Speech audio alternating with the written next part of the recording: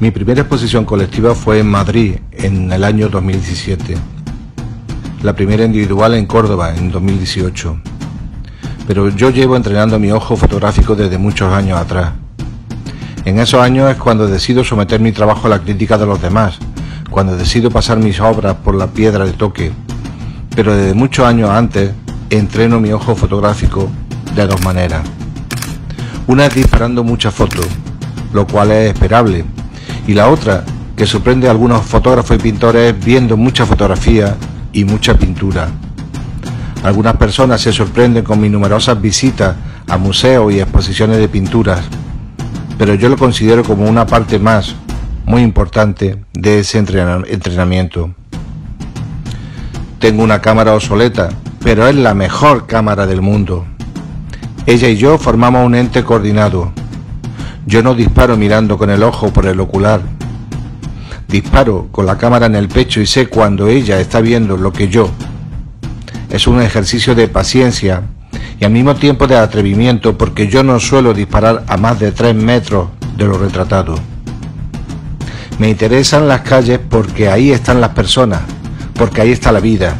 Por eso durante el confinamiento decidí no hacer fotos porque no me interesa fotografiar calles desiertas huyo del feísmo y de que una fotografía mía pueda causar dolor a una o varias personas, pero muestro la dureza como me la encuentro.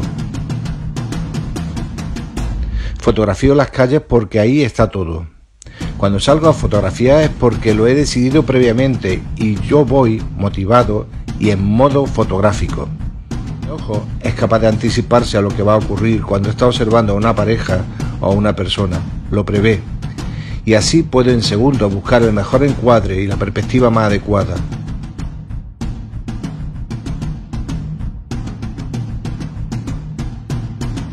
Yo fotografío las calles y con ellas su gente busco imágenes que transmitan una emoción a quien vea esa fotografía.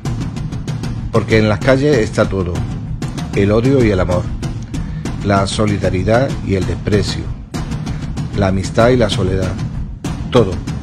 Yo me muevo por las calles como una especie de notario. Mis actas notariales son mis fotografías. Y para conseguirlo, tengo que ser casi invisible. Mi presencia no puede modificar el objeto a retratar. He de realizar mi trabajo con naturalidad y con sinceridad.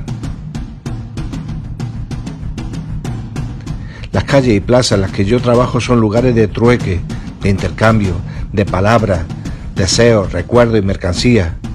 Me interesa plasmar en mi fotografía la relación humana que intercambian sentimientos y a veces sexo.